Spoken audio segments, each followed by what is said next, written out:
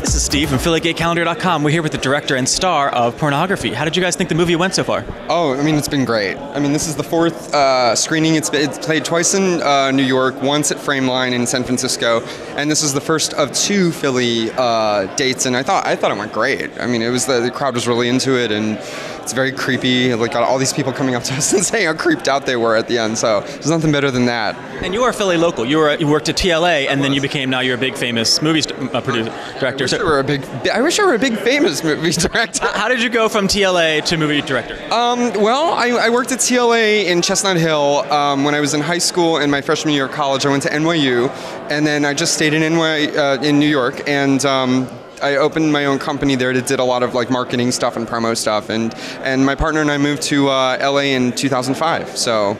It's kind of my, and I had a couple of shorts that went around. Uh, a couple of shorts that both, I think they both played at Philadelphia uh, at one point or another. Um, so you know, it's this is just kind of the natural progression, the first feature. So So you live in LA now. yes, yeah. Why did you pick New York over Philadelphia to film this movie? Oh, we didn't. We didn't film in New York. Oh, okay. No, no, no. We fi- we filmed in Los Angeles. Actually, almost all of it. We we shot a bunch of um, exteriors and a couple of pickup shots in New York, but mostly, almost all of it was shot in Los Angeles. Yeah. You fell for it. yes. you fell for it. A lot of people do. We did a good job. Yeah. So it's a very complicated movie. How long did it take you from concept to actually like ready to film? Dude, uh, well, I mean, you know, the first draft was written very quickly uh, because I just wanted to like get it all out on paper and not think about it, not judge it, not try to analyze it.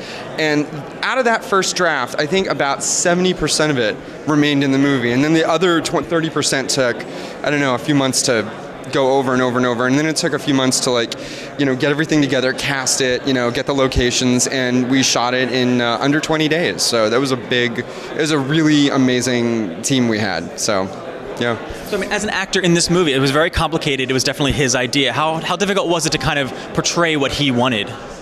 Oh my god! I mean, it was it was really difficult. You know, David and I, I say this all the time to people that we did a lot more talking than we did rehearsing. You know, we just sort of had a lot of conversations and dialogue about the character, and uh, and you know, I think that in many ways.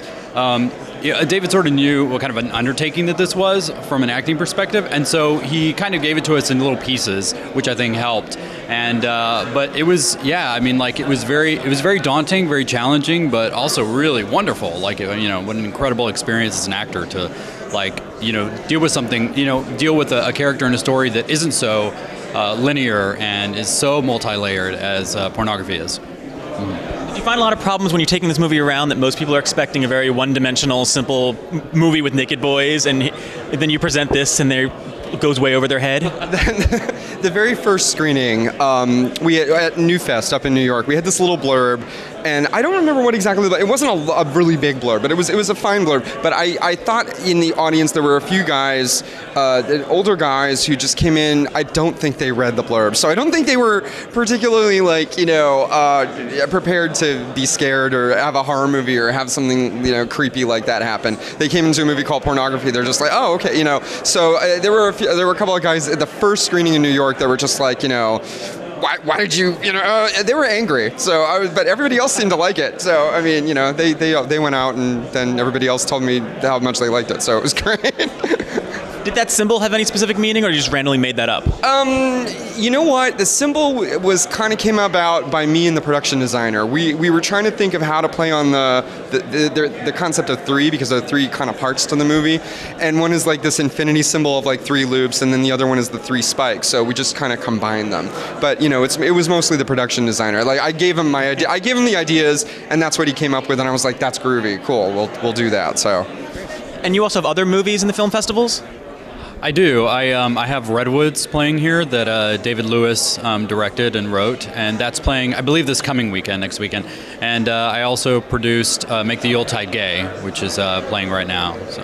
Which is totally different than this one. it's a Christmas, It's a crowd yeah, Christmas comedy, you know, sort of movie. Yeah, that's the one with cute boys. That that one's the one with cute boys in it. The, the movie called Pornography is just here to scare the crap out of you. So. We'll be here for both of those, so we're excited. So, what's in the future?